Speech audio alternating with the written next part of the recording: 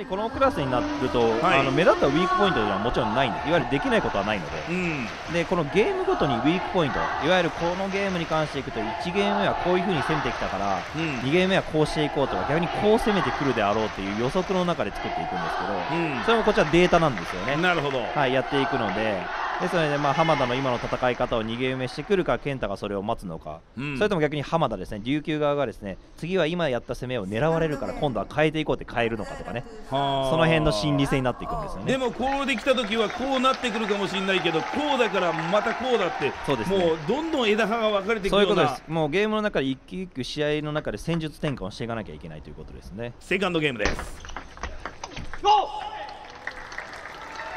今の入り方から見てどういうふうに？今の入り方からするとですね、はい。えー、と健太からすると1ゲーム結構つっつきというのを多用されてドライブをかけさせられて攻められてたので、はい。今あのフリックをさせてっていう感じだと思います。またフリックされましたね今度。でフリックさせて攻めようと思ったらサーブが甘くなったのを浜田が見逃さなかったという感じですね。なので作戦的には健太としての作戦だったんですけど浜田のボールレシーブが鋭かったですね。うーん。2対0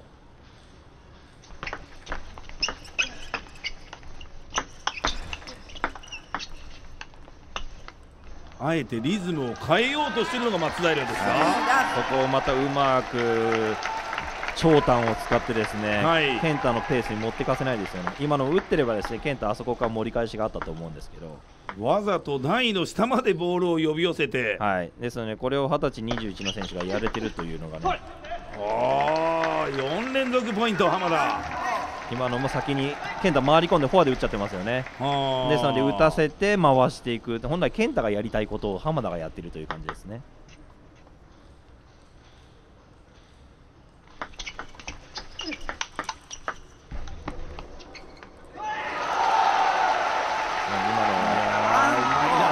会場いたらあーって言っちゃうような。今日の金金沢じゃない今日は小松のお客さはい。んもう見たことないようなボールの軌道を見てるでしょうね。そうですよね。まあ本当ね金沢ポート石川県としてねこのうん。七尾市出身のねはい。健太がこう金沢で試合をする金沢のチームに帰ってきた、まあはい。帰ってきたとかできたばっかなんであれですけれどもやっぱそれは嬉しいことだと思いますね。石川の卓球界のスターですね。石川にはプロスポーツチームは独立リーグの石川ミリオンスターズという野球チームとあとはサッカー、はい。スウェーゲン金沢はそしてバスケットボールの金沢サムライズというチームがあるんですけれどもこれで4チーム A プロスポーツチームは？はい。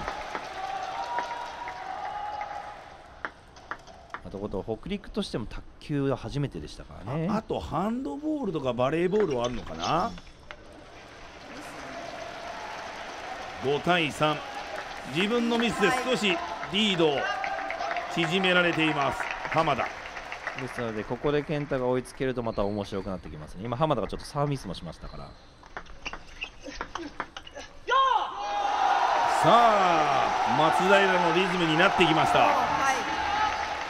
本当に松平健太という選手は最初でやった時、はいなんか機嫌悪いのかなっていうぐらい人見知りですよね。そうですね。それが今はなくなりましたね。なくなりましたよね、はい。もう全然変わりましたよさあ追いついた。これ話したら健太に怒られるかもしれないですけど、はい怒られないです。あそうですか、はい。えっ、と健太はやっぱ前はね3球4球離れると、はい。ちょっと試合を諦めるじゃないけど いやもう難しいかなってモードに入っちゃったんですけど、うん。もうやはりあの T リーグ始まってこうプロ意識がさらに芽生えてどんな状況からでも最後まで諦めないってなってからまた一段と強くなりましたね。あとやっぱり自分のテクニックというものが、はい。やっぱりこうテクニシャンな部分も分かってるんで、はいはい。こうやってくれればお客さんが喜んでくれるっていうのも、ある程度理解したプレーしてしてくれますよね。そうですね。やっぱいろいろとこうプロっていうね。ああ追い越した。逆転しましたね。5ワンからでしたね。ですので、ここからやはりどちらかというと浜田が攻めたものをちょっと狙うっていう展開がちょっとできてきているので、なるほど。健太の展開になりつつありますよね。6対5金沢ポート松平健太が逆転です。セカンドゲーム。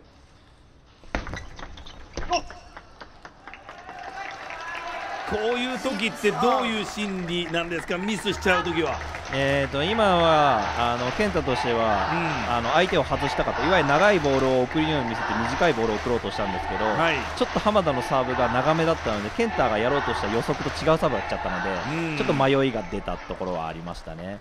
ただ健太のは今モードに入っているので、はい。健太のやりたいことをやろうとするゾーンに入ってますね。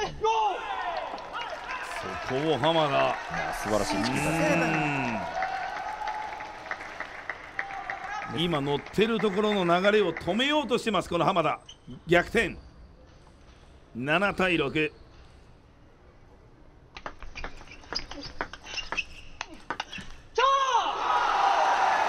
いつきます。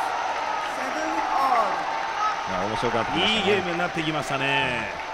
このゲームが坂本さん、はい。大げさに言うならばこのゲームをもし浜田が取るようなことがあるとかなり琉球この浜田松平戦でいくと有利になっていくのでそうですね。そういう意味でも浜田としてもこのゲームを落とせないんですよね。ここのポイントがゲームの中で少し大事なポイントになってくるか浜田。素晴らしいですね。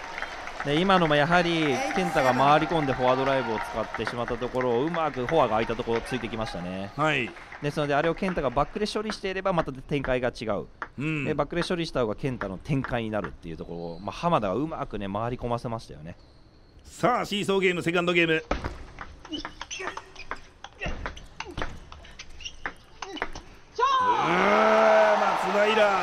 これなんですよ。今度今またスローが出たら分かるんですけど浜田が逆に回り込まされているところを健太がブロックで回してるのでその前のボールと全くお互い違うおやりたい展開をやれてるんですよね、うん。相手に動かして打たせといて本来卓球で攻めた方が有利って言われてるんですけどこの2人に関してはちょっと逆で攻めさせてそれを料理していくというね感じですね。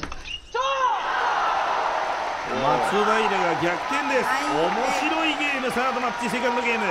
今のバックハンドはもうえ健太のエースボールですね。うーん。9対8さあこのままゲームポイントまで持ち込みたい松平。そうはさせない浜田。アグレッシブ真ん中ミドルですねいわゆるバックで打とうかフォアで打とうか迷う場所にうまくレシーブを送ってですね健太にそれを打たしてそれを狙っていった。いわゆるやはりこの2人のゲームというのは自分が攻めたパターンというより打たせて攻めさせたところをカウンターをしていくというねパターンですよね。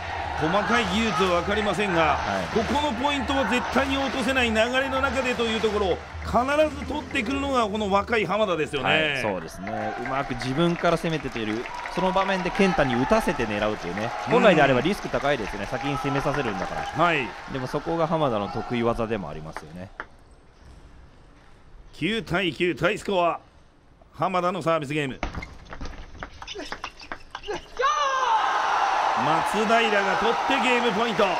今のはですね思い切って健太フォア側にねこれも一緒ですよね。フォア側っていうのは一番攻められやすい場所。なので浜田に攻めさせて健太がブロックで回した。本当にお互いに同じようなタイプといえばタイプなんですねそのあたり。攻めさせたボールを点数取っていくと。さあゲームポイントは松平。10対9さあ並びます。T リーグ最終ゲームまでのゲームすべてにおいては10対10になれば最後の一本勝負になります。大事なポイントですねこれ。どうするんですかね 取ったの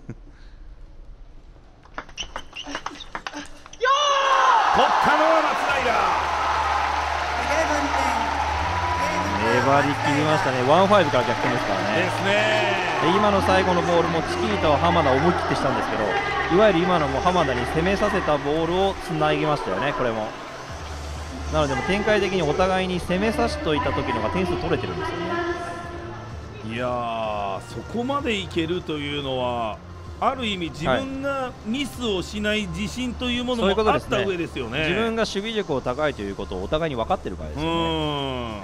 まあどのスポーツでも多いと思うんですけど攻められると攻撃をされているので怖いじゃないですか。はい。でやっぱり点数を取られてる感じがするんですけどこの2人に関していくと、はり攻めさせてる時の方が自分で試合を作れるというのがあるのではタイプ的にはやっぱ少ないんですよ。あはい。だからそれがまあ極めてうまい2人が戦っているのでなんかお互い攻めた時ミスしてんじゃんって見られがちなんですけど、ん。それがこの2人の戦い方なので、うん。攻めさせて取ってるいわゆるカウンターをしてる。逆にそれが攻めに攻めというふうに結局なってることですよね。なるほど。さあハッシュタグ T のエールじゅんじゅんさん。坂本さんの解説のファン続出新しい楽しみですありがとうございます。毎試合坂本さんでお願いしたい説ありというの来てましたね。ハオさんからマハルのプレー渋いなって来てました。タイムラグあってすいません。